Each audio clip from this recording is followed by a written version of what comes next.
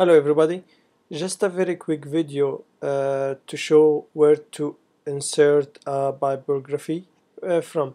Um, if you inserted your references and also if you have references in your uh, citation tab here in um, as we described in the previous video.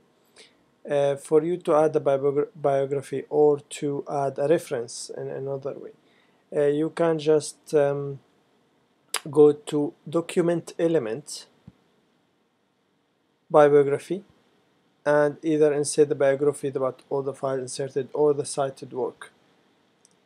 If you clicked and then it will be generated here as you can see in uh, three the three references here which of course you can choose and edit the way uh, you want regarding font it's gonna take a minute.